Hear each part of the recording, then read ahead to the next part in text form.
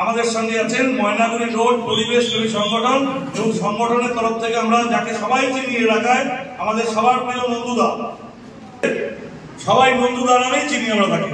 সবাই সবার ডাকে তিনি সবসময় সাড়া দেন এবং মানুষকে সাহায্যের জন্য তিনি হাত বাড়িয়ে দেন সবসময়। যখনই আমরা বিভিন্ন সময় কোথাও সাপ বেরিয়েছে, কোথাও বন্য প্রাণী বেরিয়েছে, সেখান থেকে বাঁচার জন্য আমরা যখনই তার কাছে সাহায্য চাই উনি কিন্তু ঝাঁপিয়ে পড়েন, সাহায্য করেন। বিজ্ঞানসম্মত হয় এ সম্বন্ধে উনি বলবেন এবং তোমরা আরও অনেক অনেক নতুন নতুন তথ্য ওনার কাছ থেকে জানতে পারবে এবং আমরাও জানতে পারব। এবার সাপ সম্বন্ধে আমরা জানি, সাপ কি?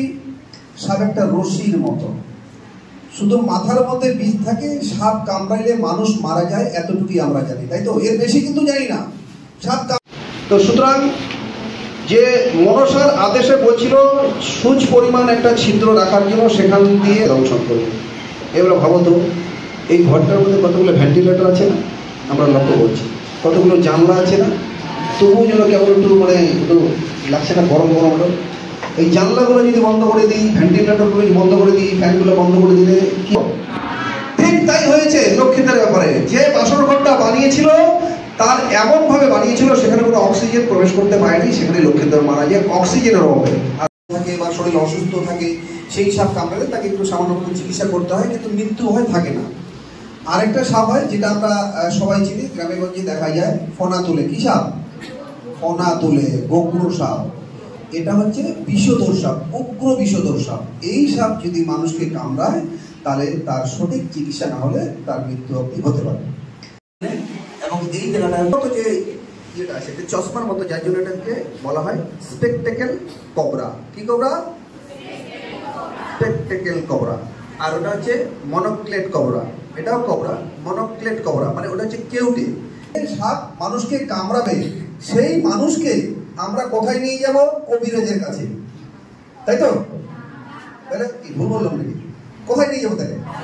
হাসপাতালে রাইট আমরা যে সাপ মানুষকে কামড়ায়, সেই রুগীকে আমরা হাসপাতালে নিয়ে যাব। তাহলে সাপ মাথার মধ্যে বিষ থাকে। এবার মূলত সাপের বিষদার যেটা যেটা বিষধর সাপ, সাপের সামনে দুটো বিষধর বিষ থাকে মানে বিষদার থাকে। এবার সাপের যে বিষদ থলি, এই থলিটা কোথায় থাকে? উপরের চোয়ালে। অর্থাৎ আমাদের চোখ, এই যে দুপাশের চোখ, এই চোখের উপরে দুটো বিষের থলি থাকে, যেখানে বিষ উৎপত্তি হয়। ওখানে বিষটা কালেকশন হয়, ওখানে জমা হয়।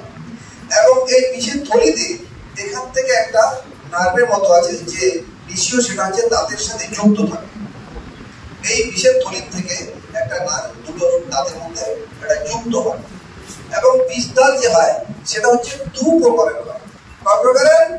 দুই প্রকারের।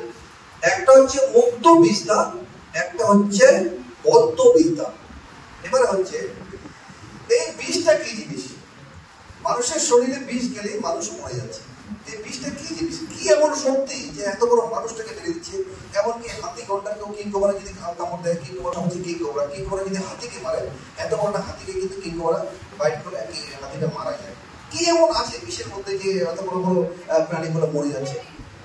বিষের মধ্যে থাকে একটা অ্যাসিড মানুষকে কামড়াবে, সেই মানুষকে আমরা কোথায় নিয়ে যাব? কবিরাজের কাছে। তাই তো? তাহলে কি ভুল বললাম নাকি? কোথায় নিয়ে যাব তাহলে? হাসপাতালে রাইট আমরা যে সাপ মানুষকে কামড়ায়, সেই রুগীকে আমরা হাসপাতালে নিয়ে যাব। বাঁধনটা দিব, সেখানে আমরা বাঁধনটা দিব।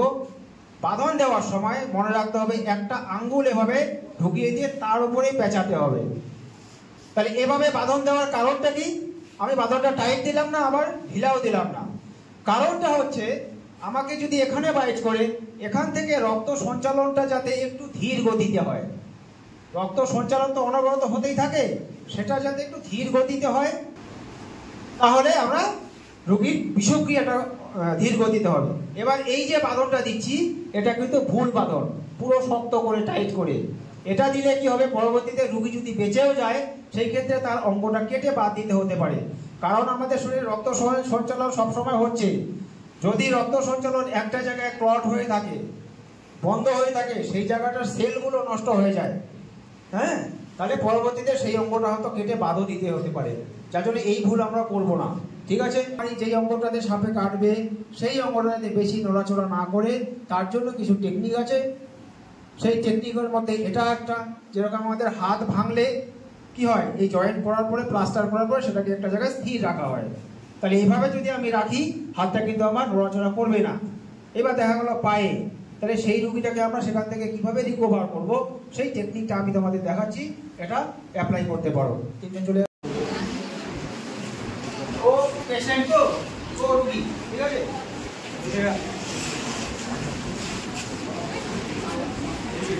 সর্বপ্রথম ওর পা দুটোকে এরকম ভাঁজ করবে। হ্যাঁ? ভাঁজ করে এখানে একটা পা দিয়ে একটা সাপোর্ট দেবে।